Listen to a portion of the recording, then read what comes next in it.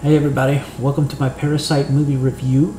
Um, I'm late on this one. I saw this movie maybe a month ago. I saw it before um, the uh, the Oscars.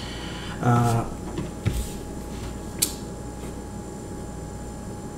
so I knew it was nominated, um, and I wanted to go see it. I, I, I, I actually ended up seeing all of the Best Picture nominees before the Oscars came out, and I suspect that I didn't do an Oscar predictions this uh, this uh, this year. They actually kind of crept up on me because I've been I've been busy trying to lose weight.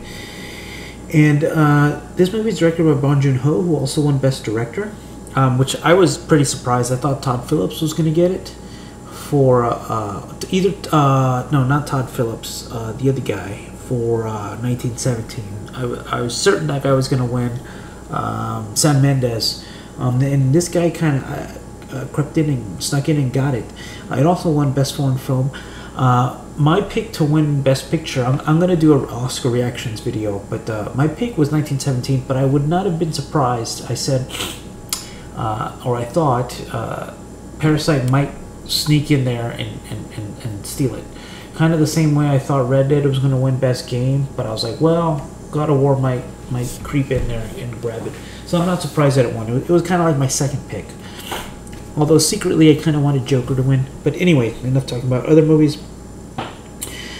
Um, if I had to describe this movie in one word, it is original. I think I have used that once before. I've never seen a movie like this. This movie was absolutely brilliant.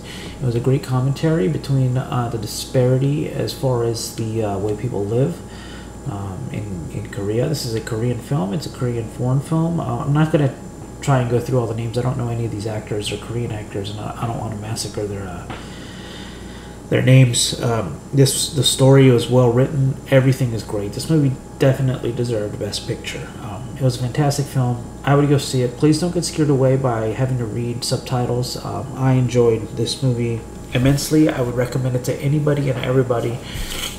There's laughs. There's tension. There's drama. There's a message. There's a good story. Um, on the Star Strider scale, I give this movie a 98 out of 100. Uh, it, it it's it's it's a masterful film, and I think Bong Joon Ho has actually done a couple of other American films. Uh, I believe he had done uh, he did Snowpiercer, which I thought was great, and that's the only other one that I've really seen of his. Um, but uh, I look forward to seeing more. Now I, I know his name. I didn't know who. Oh, he wrote uh, Snowpiercer. He didn't direct it, but uh, he's he's definitely he's he's now on my radar.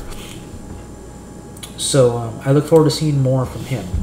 Uh, I will definitely be there opening weekend for his next movie. I highly recommend this movie. What did you guys think? Um, did you like it? Did you hate it?